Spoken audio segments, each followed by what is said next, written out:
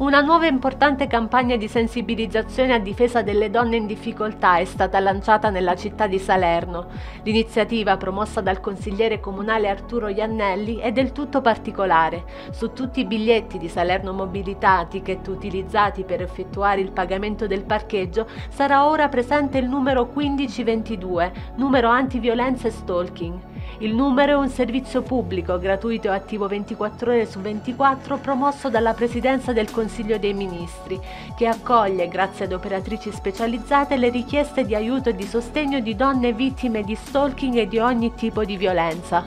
Abbiamo ascoltato Elisa Ercoli, presidente dell'associazione Differenza Donna APS ONG, che gestisce il numero di pubblica utilità 1522. 1522 è il numero nazionale antiviolenza e stalking della Presidenza del Consiglio dei Ministri, Dipartimento Pari Opportunità che gestiamo come differenza donna, un numero che si può contattare sia tramite chat, tramite app che tramite telefono. Noi siamo aperte 24 ore su 24, 365 giorni, garantiamo a chiunque ci voglia contattare, totale anonimato e riservatezza, questo è un elemento molto importante, possiamo sostenere tutte le donne che stanno subendo una situazione di violenza, prima di tutto per conoscere il rischio che stanno vivendo e quindi avere una percezione reale del rischio. Poi possono essere indirizzate sui centri antiviolenza territoriali e questo è uno strumento davvero importante, avere consulenze legali, psicologiche e assolutamente diventare sempre più consapevoli del della situazione che si sta vivendo ma soprattutto di quali sono le modalità per uscirne in maniera protetta.